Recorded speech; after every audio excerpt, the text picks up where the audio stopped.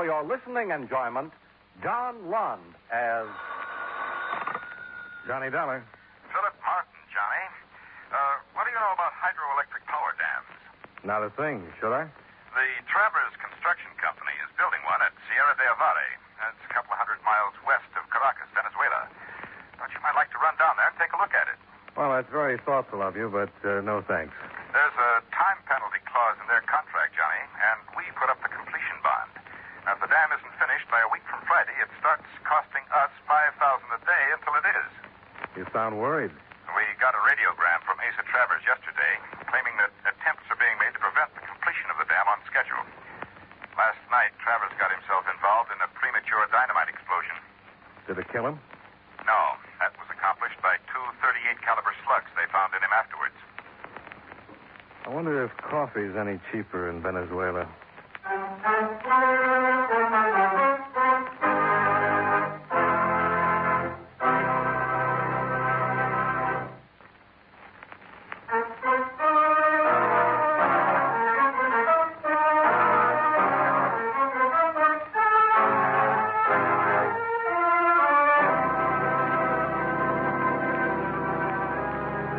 Expense account submitted by Special Investigator Johnny Dollar to Home Office, Eastern Indemnity Insurance Company, Hartford, Connecticut. The following is an accounting of expenditures during my investigation of the sulfur and brimstone matter. Expense account item one, $273.50. Airfare and incidentals between Hartford and Caracas, Venezuela. I was met at the Maiquetía airport by the deceased traveler's partner, Senor Getulio Matarsa, who wasted little time on the amenities. Ten minutes later, we were aboard a twin engine Cessna with Matarsa at the controls, flying west toward the Sierra de Avare Dam. As to who may have killed Senor Travers or why, I can tell you nothing. It is possible Capitan Boros of the Federal Police will have more information for us when we arrive. Why federal authorities on a homicide matter? Oh, the Sierra de Abarre Dam is being partially financed by governmental funds. Naturally, the federal authorities are interested. Mm-hmm. What's your opinion about Asa Travers' report that somebody's trying to sabotage the dam? While it is true we have had some breakdown of equipment, some vital materials lost or stolen, I do not believe anyone is attempting to delay construction by physical means. What do you believe? In many police organizations, Senor Dollar, eh, even in yours, in the United States, there will always be a small percentage of dishonest men. You're talking about Captain Boros? On a project such as the Sierra de Abarre Dam, two diligent police investigations could cause disastrous work stoppages. Vital delays which could carry us far beyond the contract deadline. And at 5000 a day, that could turn out to be pretty rough. Did either you or Travers try to prove this little theory of yours? We will be at the dam shortly, Senor Dollar, and your investigation can begin. It would not perhaps be wise of me to attempt to give you any preconceived ideas. Maybe you should have thought of that before you tried so hard.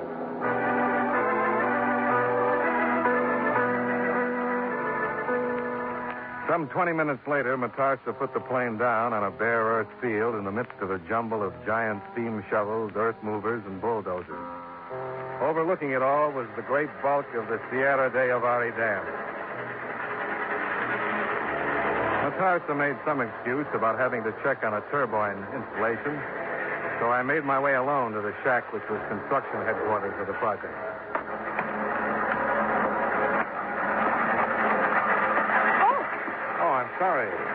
Excúseme, señor. My fault. No hay de qué. Hasta luego, señor. Yeah. Yeah? My name is Dollar. I'm an insurance investigator. I'm looking for Captain Boros. Insurance investigator. That's all we need out here now. Who's paying you off, Boros or Matarsa? Maybe we better start over again. My name is Dollar. I'm an insurance investigator. Who are you? Bill Anthony. I'm straw boss of this outfit. And let's get one thing straight right now. I'm here to build this dam, and it's going to get built in spite of you or Boros or Matarsa or anyone else. Very admirable. Now, where's Captain Boros? Last I heard, he was going over to Travers' house. And where's that? near the town of Puerto Cáceres, some 10 miles north of here. Uh huh. We uh, got some jeeps parked down on the other side of the hill. Told one of the boys I said he should drive you out there. You're mighty accommodating all of a sudden. We'll get you out of my hair for a while. Yeah, that's what I figured. By the way, who's the girl I bumped into on my way in? Philomena Travers. Asa's daughter? His widow. Why? You must have been discussing some pretty important business. What makes you think so? Neither one of you remembered to wipe the lipstick off your chin.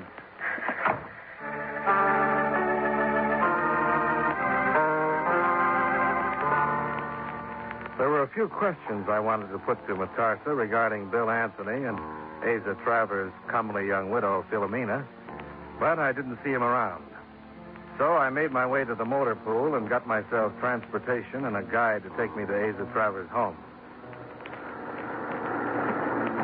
It is true, then, that the Senor Norteamericano has come here on the sad matter of Senor Travers' death. Well, the word's gotten around pretty fast, hasn't it, Pedro? Well, when one has lived in the Sierra Roja as long as has Pedro de la Cuesta, anything strange or different becomes quickly known. Well, then maybe Pedro de la Cuesta knows something about why Senor Travers was killed. I know only that when men make an evil thing, Senor, it will bring evil. You're talking about the building of the dam? Si, Senor. Why should that be an evil thing? It is not right for men to change the things which are natural to the earth, Senor. To force the flowing waters of a river backward upon themselves. This is not a good thing, Senor. You talk like a plantation owner, Pedro. No, no, Senor. My father was but a poor farmer who worked hard that I might go to the school of the workers here. But Pedro knows it is not a good thing what is being done here today. The evil that man creates will destroy him as it has already done to Senor Travers. And there will be more it will destroy, Senor. Many, many more. Now, that's a happy thought.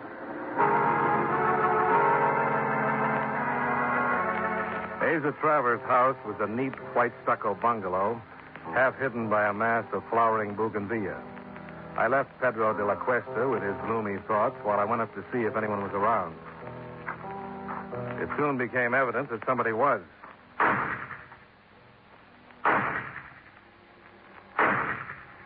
The shots came from a low barn like building at the rear of the property, and I wasted no time getting over there to see if Pedro's prophecy had already been fulfilled. Oh, buenas tardes, senor. So we meet again, huh? Yeah. Oh, but you look so startled, senor. Almost as though you had expected to find a body in here. Well, I hadn't expected to find a shooting gallery, Senora Travers. Asa had it built for my amusement. I have always found firearms fascinating ever since I was a little girl. And there is little else with which one may amuse oneself out here in this wilderness. I have become quite proficient at it. Hmm? You see? Not bad. What's the gun? 38 caliber on a 45 frame? Si, senor. And you are thinking perhaps that it is the same caliber bullet which caused the death of Asa? The thought had occurred to me, yeah. Well, it is regrettable one was disappointed, senor. Capitan Boros has already checked the gun. Uh-huh. I see. Where is the good captain? Oh, he left perhaps 20 minutes ago. We didn't pass him on the road. Are you always so suspicious of other person's statements, Senor Dollar? Let's say I'm curious. And you find something to be curious about concerning me? Oh, a number of things. Oh? Well, I haven't told you who I am or why I'm here, but you seem to know. But of course, senor. Bill Anthony has called me on the telephone and so informed me. And you don't seem particularly grief stricken over the death of your husband.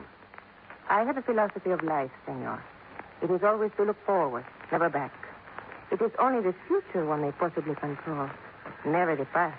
Sometimes the past has a nasty habit of affecting one's future. Only if one has been guilty of some crime. And you haven't? Would you believe me if I said no? Senor Dollar. Senor Dollar. In here, Matarsa. Senor. Senor, you must return with me to the dam at once. Why? What's up? It is that Capitan Boros. He has just ordered an immediate stoppage of all work on the dam.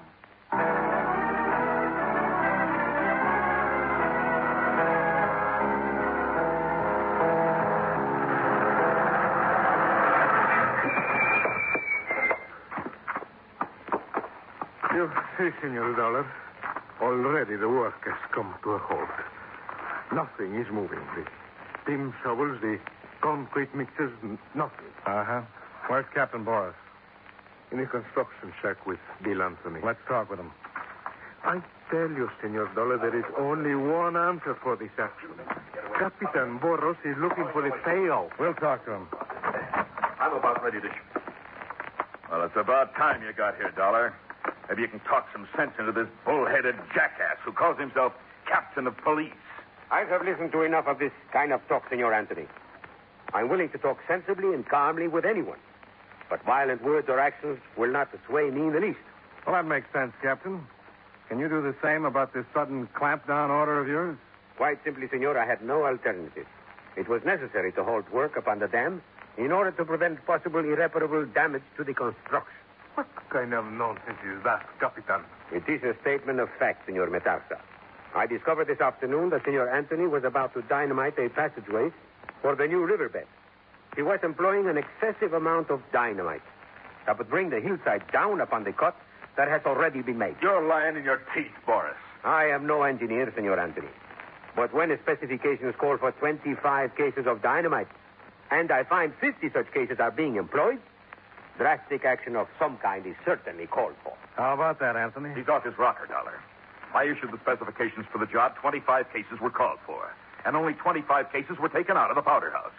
Seems to be a little difference of opinion, Captain. Suppose we go down and take a look at those dynamite charges. If you wish, Senor. But I can assure you, you will be able to learn nothing that will alter my decision until I get to the bottom. Dynamite! We set to blast the new riverbed. Somebody touched them off.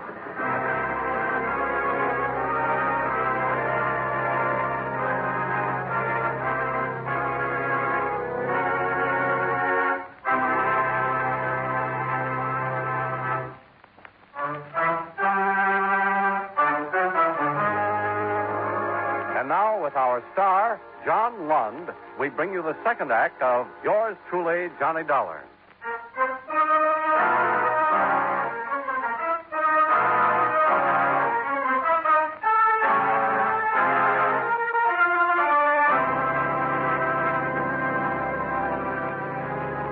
Subsequent investigation showed that Bill Anthony's specifications for 25 cases of dynamite had cleared through the powder house just that way. And the explosive experts there said that only an amount greatly in excess of that could have caused the damage that had been done. And we discovered that the blast had been touched off by a crude homemade sparking contraption we found in the brush on one of the nearby hills.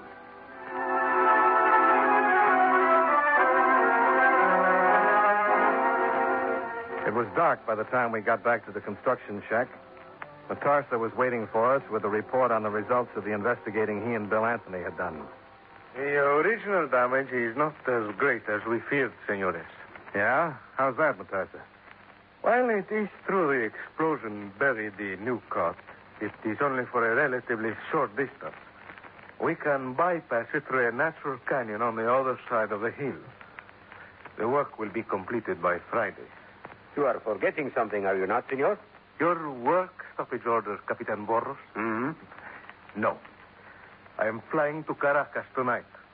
There are higher authorities there who can quite easily countermand your orders. I'm certain they will prevent you from interfering any longer in the construction of the Sierra de Abarre Dam. Buenas noches, senores. Looks like he's calling your hand, Captain. See. And I have no doubt he will succeed, Senor. There are those in Caracas who, for a handful of silver, will sell practically anything, including their souls. You know, Matarsa has the same idea about you. Hmm. He's not the first, nor will he be the last. A police official is always suspect. There are but few who realize that there are other considerations besides those of money. How about naming me one, Captain? Eight men have died so far in the construction of this dam, senor. All of them during the so-called accidents which have occurred. What if I should tell you that my reason for holding construction until we get to the bottom of this consists solely of a desire to save more lives? Well, I'd say it um, sounds reasonable.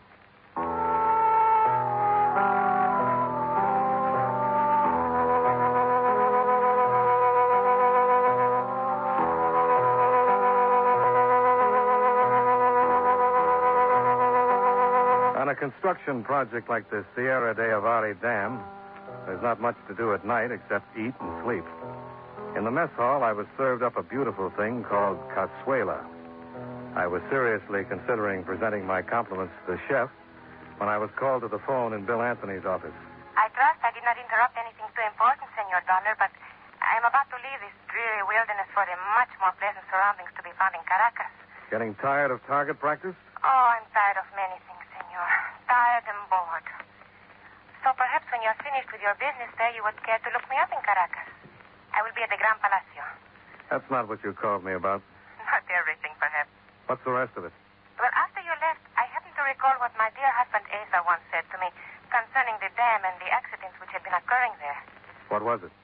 He said, strange how the works of the devil always carry the odor of sulfur and brimstone with them. What else did he say? It is all, senor. Pretty cryptic, isn't it? It means nothing to you. Should it? Would it help any if I were to tell you that very close to where the dynamite explosion occurred this afternoon, there's an old abandoned sulfur mine? It might.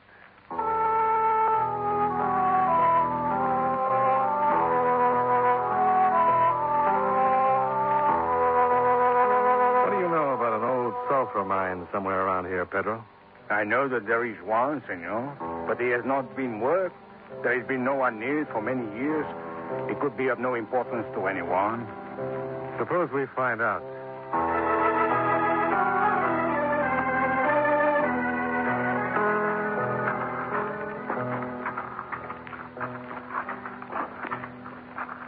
There is evil in here, senor. Much evil. What is it the senor hopes to discover here? I'm not sure, Pedro. Senor? Up ahead there. What's your guess? Uh, those, those wooden boxes? Uh, how would I know? You've been working on a construction job, Pedro. Take a closer look. It is the explosive, senor. The boxes of dynamite. Yeah. Some empty, some full. Well, that answers one question. What question, senor? Where the excess dynamite came from that blew up half that mountain today. And take a look behind those stacked cases. Hmm? Ay, Santa Maria. Yeah. Looks like we got more answers than we bargained for.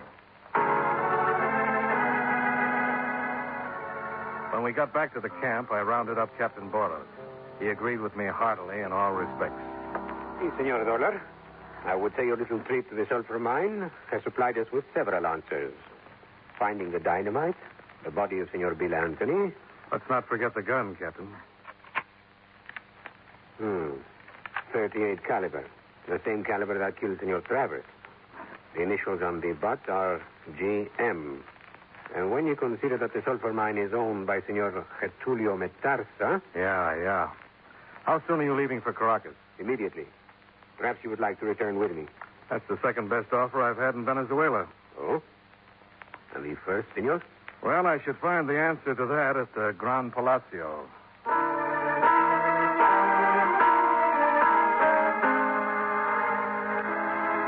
An hour and a half later, I checked into the Gran Palacio. Valet service did a fairly good job of removing the clinging yellow sulfur dust from my clothes, while a hot shower did the same for my skin. But nothing could help the chemical reaction of the sulfur dust that had tarnished the silver coins in my pocket until they were almost black. When I asked for Senora Travers, I was told she would be at the Hippodromo Nacional.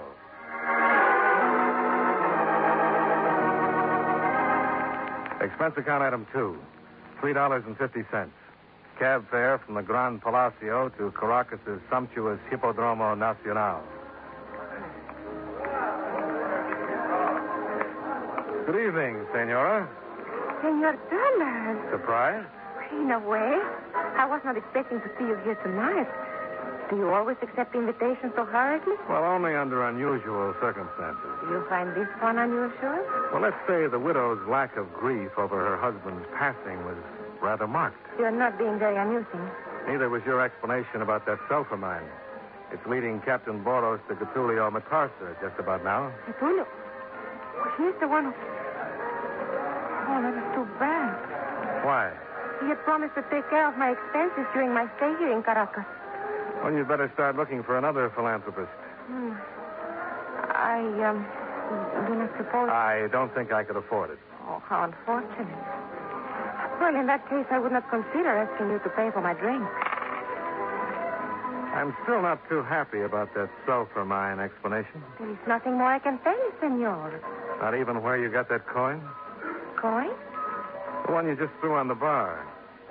Tarnished. Almost black. In case you didn't know, that's what sulfur does to silver. I see. Well? It was given to me day before yesterday, senor. It was the wish of the giver that I purchase a candle with it to burn for my husband, Who gave it to you? Pedro de la Cuesta.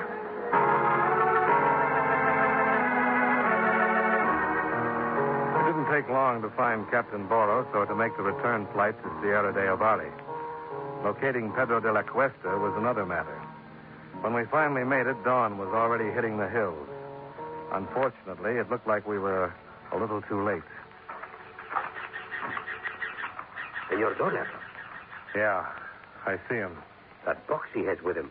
Another sparking mechanism. The dynamite must be buried in the hill beside him.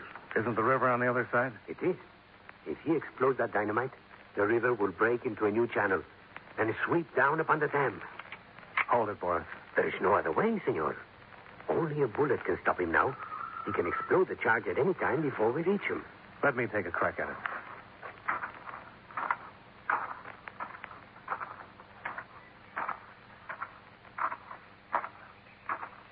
Por señor Doyle. Conozca mi licor, por favor. It's no good, Pedro. What you're doing is no good. It will destroy the evil, senor. It will prevent the good earth from being drowned by the wicked water. For a while, maybe, but only for a while. No matter what you do here today, that dam will be built. No, senor. It will be taken as an omen, as a sign from heaven. The evil thing will be left alone to drown in its own water, as they wish to drown my Maria. You're Maria, Pedro? Who is she? Mi esposa, senor. My wife. She who came with me to this land almost 40 years ago. Maria, who worked with me in the soil, who bore our children, who gave of herself for me, our family, for our land. Our grave lies there beyond those hills, senor, where the evil ones will release the waters. Is that why you want to destroy the dam, Pedro? Because of Maria's grave? She belongs there, senor, in the good earth to which she gave so much of herself. And they wish to destroy her grave, senor. To drown it in those filthy waters so, so they can make money. To wash away the only thing that ever meant anything in my life. How could I allow that, senor? How? Is that why you killed Senor Travers? Eh, he will not listen. On my knees I begged him, but he would not listen. An evil man, senor. And Senor Anthony? But he suspects me. Follow me to the sulfur mine. I had no choice, senor. And you have given me none now. Put the box down, Pedro. No, senor. It is unfortunate you must die with me. Put it down. It is too late, senor. Perhaps somewhere we will meet again. Ay, Pedro.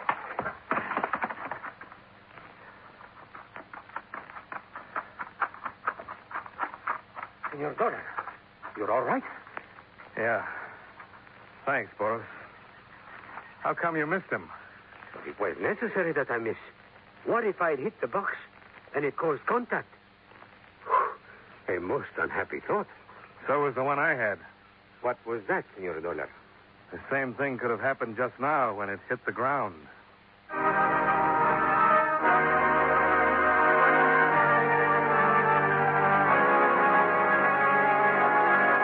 Expense account item three, $41.60. Hotel bill and incidentals in Caracas. Expense account item four, $267. Airfare and incidentals from Caracas back to Hartford. Expense account total, $585.60. Yours truly, Johnny Dollar.